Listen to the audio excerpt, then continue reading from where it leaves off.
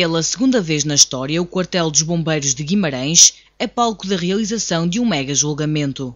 O caso das seguradoras burladas começou esta quinta-feira em Guimarães, envolvendo 43 arguídos.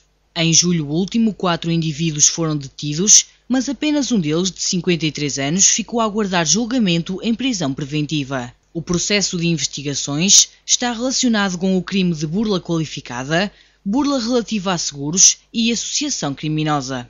Os indivíduos são suspeitos de trocarem peças de viaturas em bom estado por outras já danificadas. Posteriormente simulavam um acidente de viação que era depois participado pelos intervenientes às companhias de seguros.